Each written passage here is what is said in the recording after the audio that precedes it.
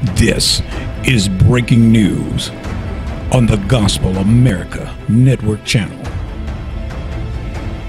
Hello, I'm Dr. Gary Jenkins from the Gospel America Network channel. We have a breaking news report, a special appeal for a church in Brooklyn, New York. Three years ago, August 30th, 2017, a massive fire destroyed a Brooklyn, New York church in Bushwick, Mount Paran Baptist Church. By the grace of God, none of the 15 volunteers working in the church were hurt. But fire and water damage completely destroyed the church.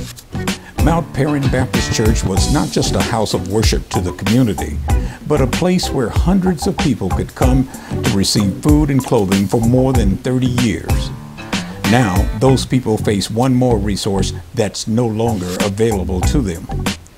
The good news is that you can make a difference in the lives of people in Bushwick and be a source of encouragement to Pastor Susie Elliott and Pastor Demel Elliott and the congregation at Mount Paran.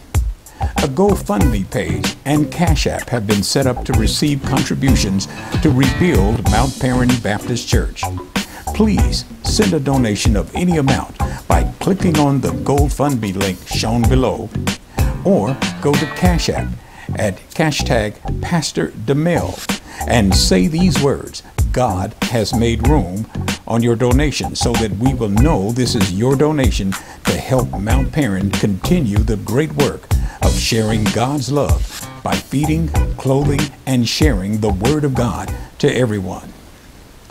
This has been a special appeal for Mount Paran Baptist Church in Brooklyn, New York. From the Gospel America channel, I'm Gary Jenkins. This is breaking news on the Gospel America Network channel.